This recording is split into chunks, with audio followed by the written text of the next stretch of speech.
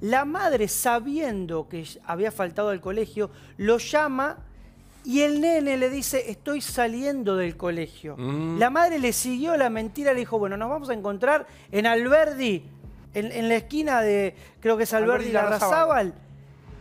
Y ahí nunca llegó el chico. ¿Se habrá dado cuenta Lo habrán que retado, los padres? lo habrán retado, Lo habrán retado, mucho, claro. se habrá asustado. Y otro- lo otro que me llama la perdón. atención es cómo un susto, digamos, no importa, discutís con tus padres, te asustás, llega a esto. No descarte para Porque vos- realmente son vos por- muchas horas. Pero vos estás dando por hecho que es una travesura. Yo no estoy dando por Vos, vos, vos creés que es una conexión. Yo no tengo miedo porque en esto, la verdad es que están trabajando también en esta dirección, ¿no? O sea, están buscando si aparece un mayor. un mayor detrás de toda esta Claro. secuencia. Es que el interrogante también, Sandra, es, a ver, ¿dónde pasó la noche? Porque digo, Claro. no es Ciudad Evita, digo, olvidémonos, es la ciudad de Buenos Aires, es el país. Nadie, nadie se anima a estar tanto tiempo de noche solo.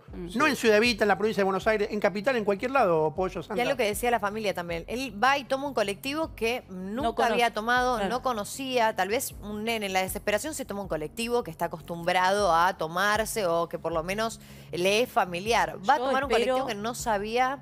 ¿Hay registro de la SUBE? ¿Hay registro de la SUBE? Sí. Sí. Yo espero que sea, muchachos, esto, ¿no? Una travesura, que sea inclusive un gran aprendizaje para todos los que hoy estamos presenciando esta situación de, de esta criatura y su madre y la desesperación de su familia.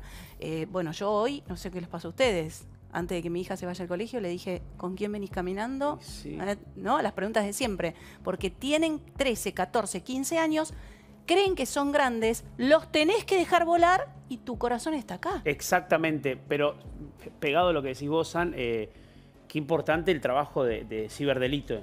Mm. Qué importante, porque realmente hay que ver con quién habló. Digo, Exacto, en el caso, hay que ver con Sí. quién habló, qué pasó.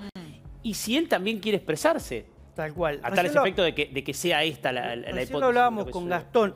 Si bien donde aparece no es una zona complicada, pasó por lugares feos.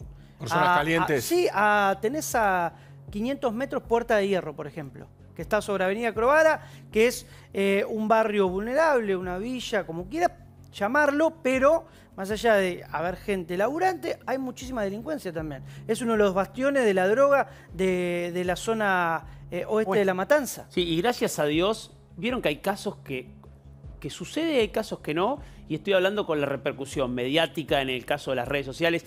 Gracias a Dios, todos hicieron eco de, de esta desaparición, porque no es la única, lamentablemente no es la única que hay por día.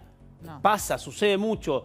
Esto rápidamente estuvo en las redes sociales, rápidamente estuvo en las cadenas de WhatsApp y rápidamente estuvo en los medios, y eso hizo que rápidamente suceda lo que sucedió. Aunque el desenlace fue otro, porque esto eh, lo encontró alguien, pidió ayuda, llamaron al 911, cayó la policía, digo, pero la presión de tener la cara en todo el país, bueno.